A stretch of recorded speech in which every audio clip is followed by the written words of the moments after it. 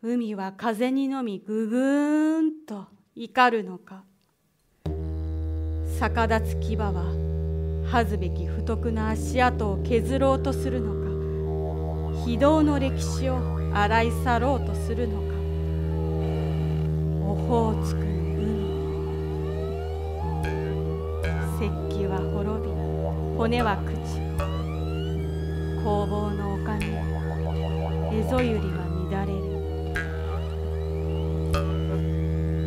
嵐は遠いさごろべを語り敗北の追っ手長眠る森影の茶師で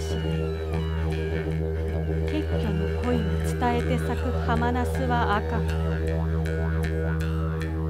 濡れた海鳥の歌うのは何の晩かだ。オホーツクは怒る。